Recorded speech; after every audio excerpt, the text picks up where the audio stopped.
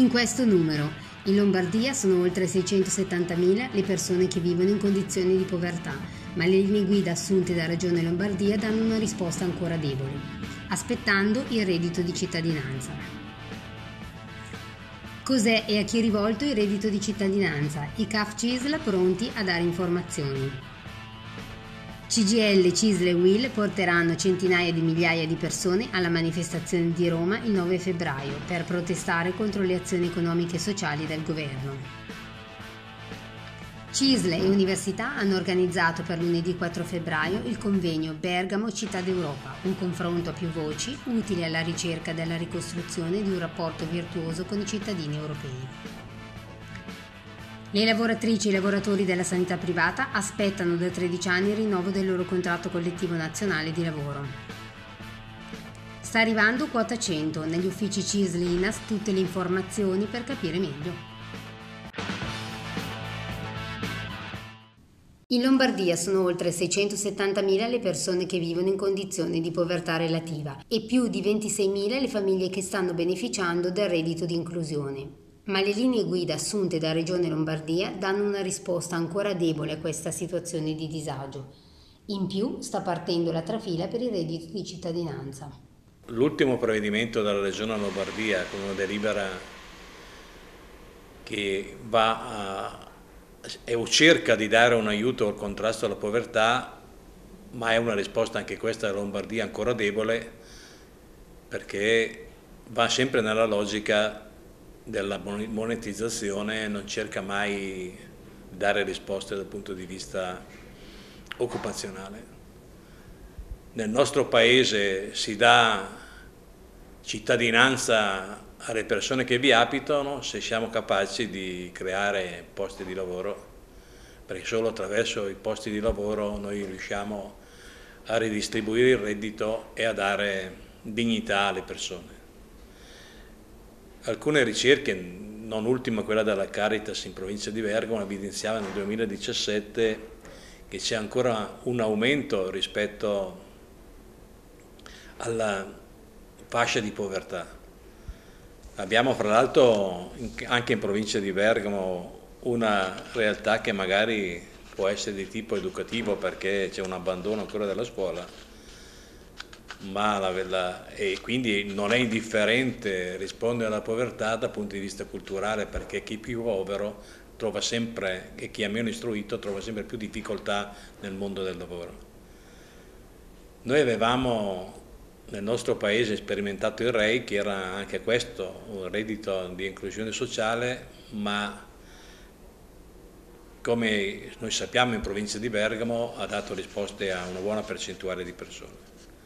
La sfida che noi oggi abbiamo non è tanto quella di dare risorse economiche che sono importanti, ma quella di saper creare posti di lavoro attraverso che questo ci porta di fatto poi al di là della risposta alle persone a una coesione sociale molto importante e che quindi ci vedrebbe ancora una volta come organizzazione di rappresentanza protagonisti anche dentro questa partita.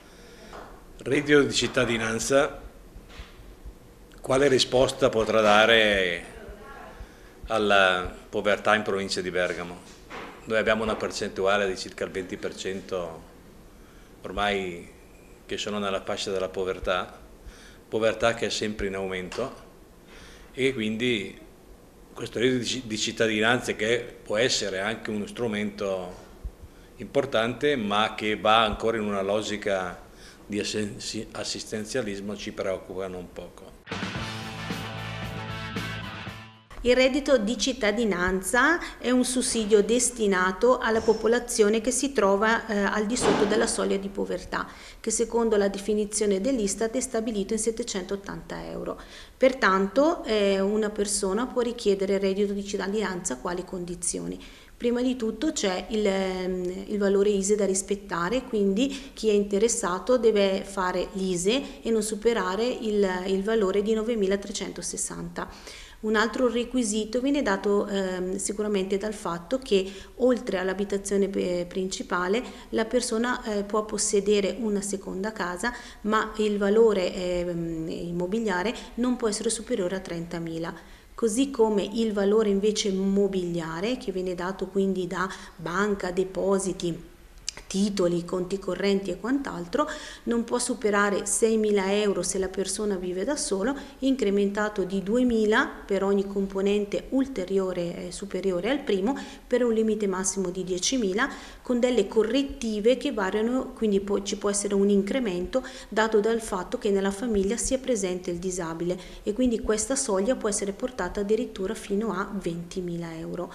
Un altro requisito viene dato sicuramente dal fatto che la persona si deve trovare in uno stato di disoccupazione, non si deve trovare né in carcere né tantomeno in una struttura sanitaria, quindi eh, la cosiddetta casa di riposo. Un ulteriore requisito sarà dato poi dal fatto che la persona eh, dovrà, o meglio la famiglia, dovrà rispettare anche un determinato valore eh, reddituale familiare. Per esempio, se la persona vivesse da sola e non fosse in affitto, il limite del proprio reddito personale non deve superare 6.000 o se fosse pensionato, perché oltre al reddito di, di cittadinanza parliamo anche di pensione di cittadinanza, non può essere superiore a 7.560. Inoltre non bisogna possedere degli autoveicoli acquistati negli ultimi due anni, eh, autoveicoli di cilindrata superiore a 1600 o motoveicoli supera, eh, superiori a 250. La domanda, ehm, il decreto non è stato ancora eh, pubblicato, ma eh, dovrebbe teoricamente partire dopo la prima settimana di marzo, quindi ipoteticamente dal 6 di marzo, tra il 5 e il 6 di marzo, si potrebbe già cominciare a compilare la domanda ci sarà un portale predisposto che si chiamerà proprio reddito di cittadinanza dove le persone potranno fare le domande una volta fatta la domanda, successivamente eh, non parliamo in questo caso di pensione di cittadinanza perché sarà erogata direttamente dall'Inps, ma nel caso di reddito di cittadinanza, una volta compilata la domanda e eh, cominceranno le persone a percepire eh, questo sussidio tramite una carta prepagata spendibile eh, per pagare eh, beni di prima necessità o pagare le bollette, possono essere prelevati al massimo 100 euro da questa carta e successivamente eh, queste persone saranno poi contattate dal centro per l'impiego dove insieme a loro faranno il cosiddetto patto sociale dove ci sarà l'inserimento quindi nel mondo del lavoro. Partirà quindi la ricerca più, eh, ad, o meglio la ricerca adatta del, del lavoro per la persona, quindi con una riqualificazione professionale.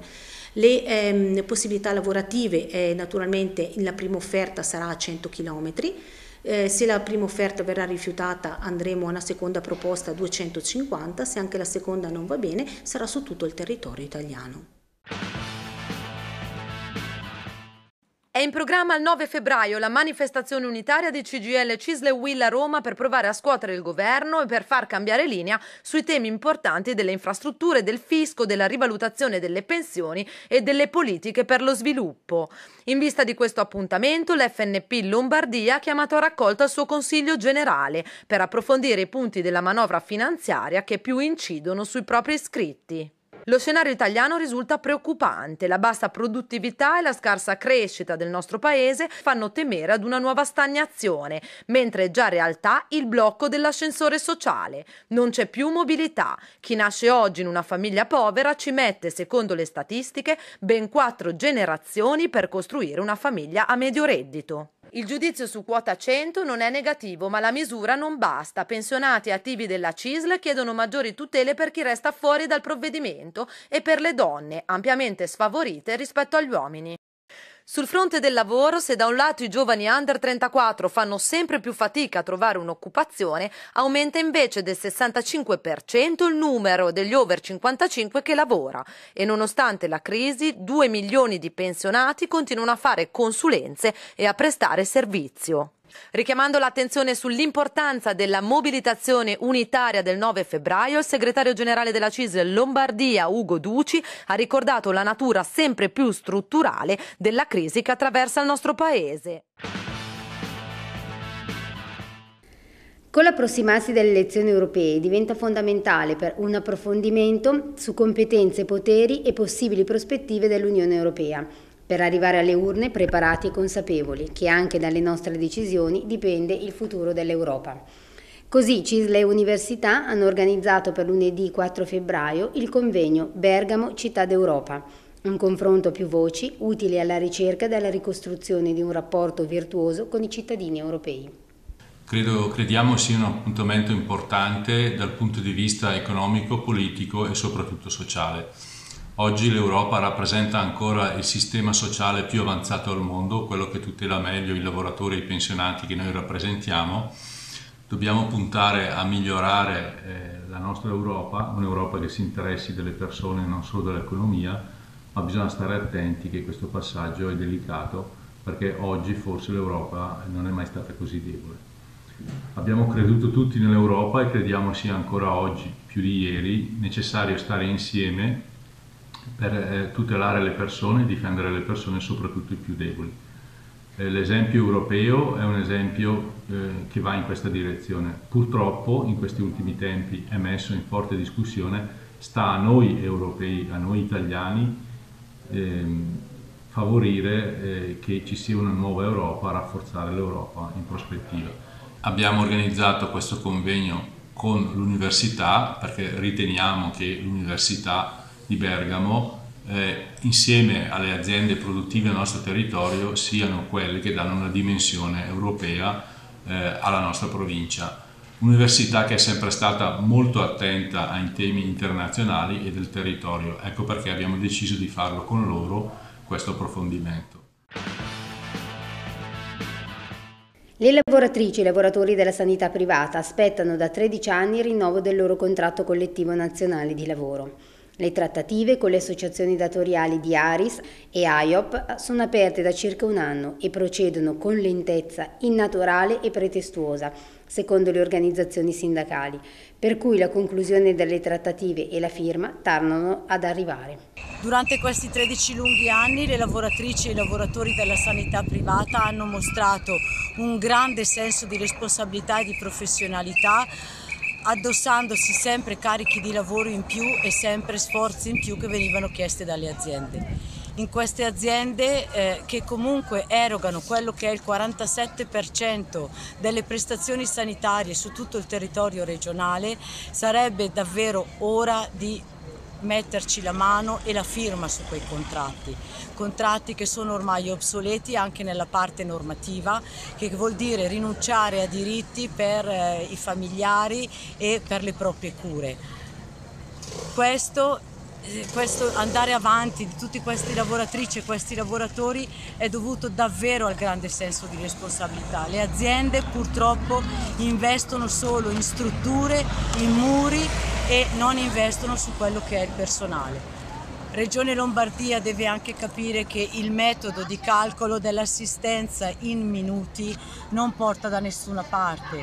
Da questo calcolo poi si considera quello che è il personale che serve nelle corsie e nei servizi di diagnosi e cura un calcolo matematico che porta a delle gravi insufficienze di organico e ehm, a dei gravi disservizi. I pazienti non, non riescono ad essere assistiti così come dovrebbero essere assistiti.